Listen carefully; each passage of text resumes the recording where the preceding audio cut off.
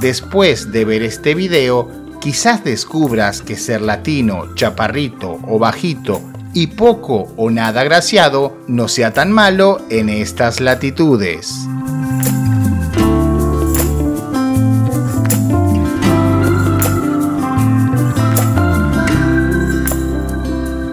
Para aquellos occidentales que tengan intenciones sentimentales con alguna hija del país del sol naciente, sepan que los caballeros nipones son devotos del minimalismo. Será por ello que en promedio los actuales samuráis presumen el tener una de las espadas más pequeñitas y diminutas del planeta. Algunos incluso muestran muy poco interés por entablar combates entre las sábanas. Dejando de lado estas simpáticas características morfológicas, hay otros factores que pueden facilitar las cosas y dibujar una amplia sonrisa a más de un extranjero.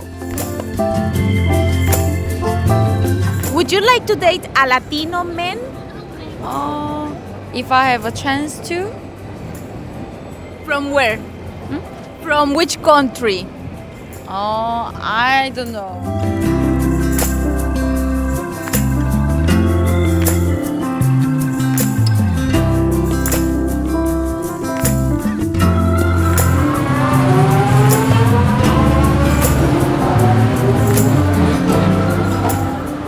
Tristemente, Japón está pasando de ser una sociedad en la que todos se casan a una sociedad de gente sola.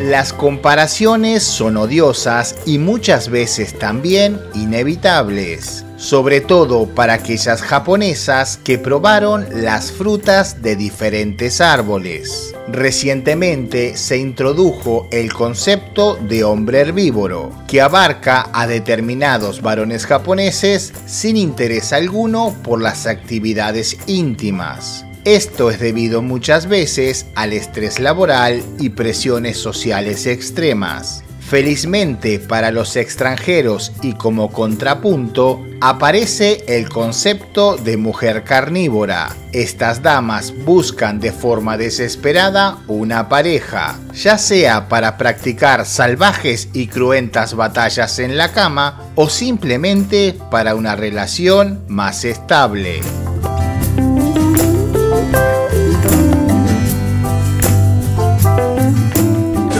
Try, try, try.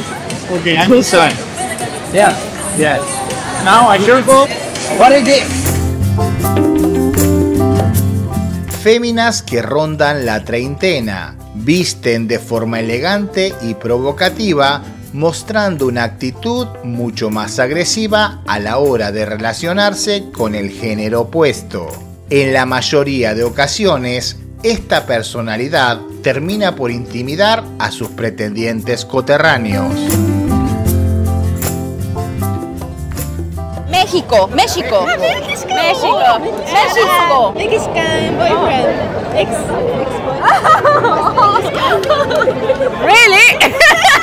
Las diferencias de Oriente y Occidente son notorias. Por encima de las reducidas katanas japonesas y las generosas espadas occidentales, se encuentran los estándares. El performance más bajo de cualquier latinoamericano perezoso junto con sus habilidades sociales, siempre y cuando éstas sean del tipo positivo, dejan una gran brecha entre nipones y latinos.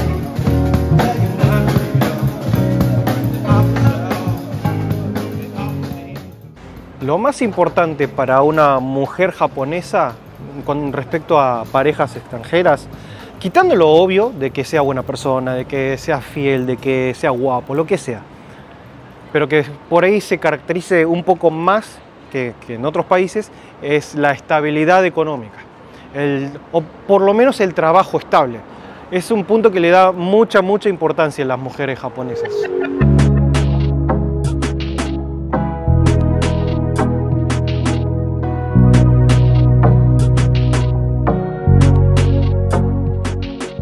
Lo cierto es que uno de cada tres matrimonios termina en divorcio en el Japón actual, una cifra bastante elevada que facilita un superstock de damas disponibles. Yeah, I like Latin guy. Oh, why? Why? Sexy. Sexy? Yeah. They are sexy? Mm, maybe. La tasa de natalidad del país es una de las más bajas del mundo. Por lo tanto, muchas de las parejas que se separan simplemente no tienen hijos.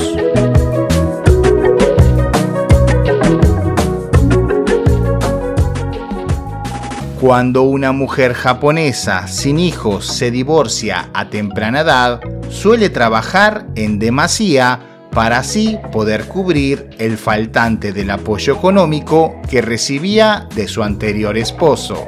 Buscar amores de una noche y algún que otro afortunado extranjero que le facilite afrontar la vida con un feliz despertar.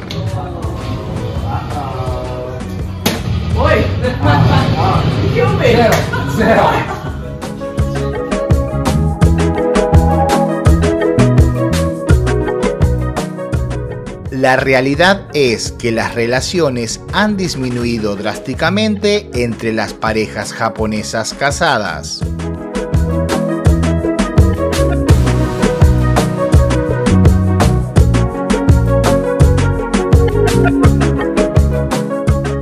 Las pocas veces que estos samuráis están dispuestos a librar batallas, estas distan mucho de ser épicas y recordadas. La práctica hacia el maestro y la falta de entrenamiento en el arte del placer arroja tiempos muy particulares. Después de todo, mañana hay que levantarse temprano para ir a trabajar.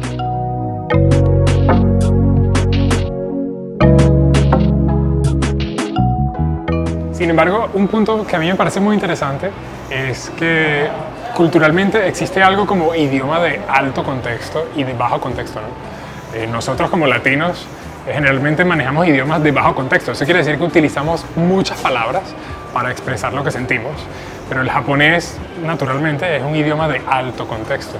Eso quiere decir que con una palabra ya ahí llevas toda esta carga psicológica y emocional que a nosotros nos tomaría 20 minutos explicar. ¿no?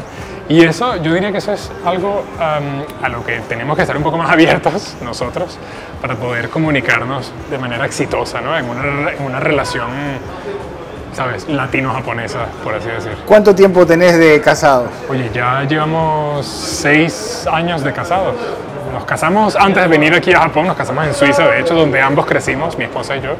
Este, nos casamos en Suiza y luego al poco tiempo nos mudamos acá a Japón.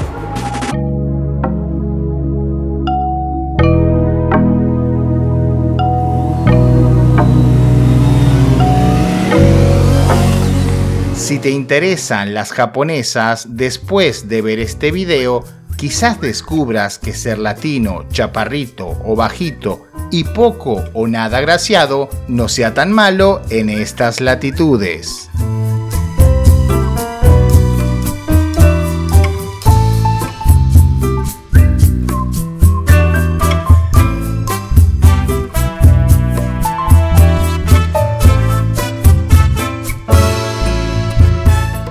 Gracias por llegar hasta aquí. Si te gustó el video, que espero que así sea, acordate de suscribirte. Nos estamos viendo en este contenido que te dejo por aquí o dentro de muy, muy poquitos días en un nuevo video.